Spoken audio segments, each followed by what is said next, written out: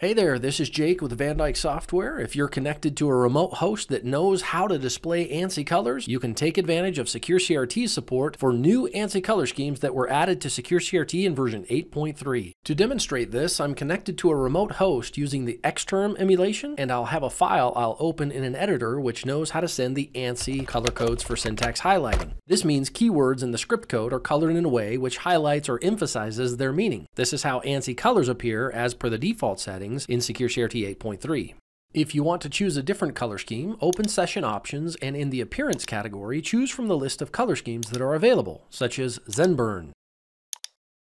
If that color scheme doesn't fit your viewing preferences, choose another color scheme. For example, Chalkboard.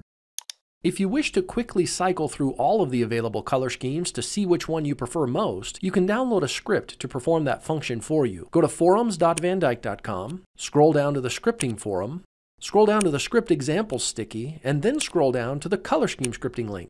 There, you'll find an example script which you can download to your system. Once the script file is finished downloading, you can map a button on SecureCRT's button bar to run the script. Right-click and choose New Button. Set the function to Run Script, and browse to the location of the text file you downloaded from the forums. Choose a snazzy name for your button and even set a uniquely catchy color for it. And there you have it. Click the button to change to the next available color scheme. As you click the button to run the script again and again, the color scheme name will appear in the status bar.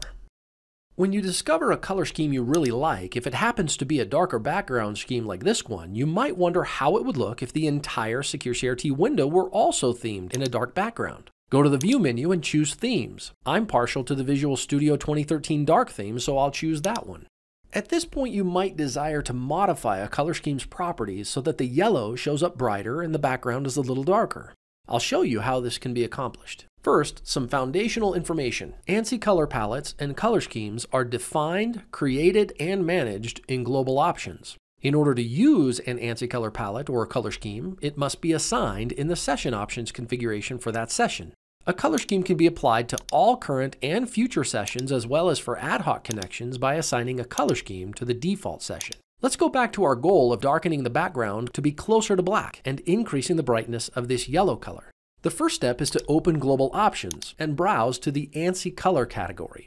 This is where all of the ANSI color palettes are defined. I know that my session is using the Solarized Darcula color scheme, which has a corresponding ANSI color palette. Rather than making changes to the built-in solarized Darcula color palette, I'm going to create and use a copy of my own. So I press New to create a new color palette and choose a creative and unique name for my own palette. Because I want to start out with all of the colors from the solarized Darcula palette, I choose that one on which to base my new colors. Now that I'm working on my own palette copy, I'll change the yellow color to be more vibrant. I'll bring up the brightness for both the normal and the bold versions of the yellow color. To change the background, I will first create a copy of the Solarized Darcula color scheme here in the Global Options Advanced category.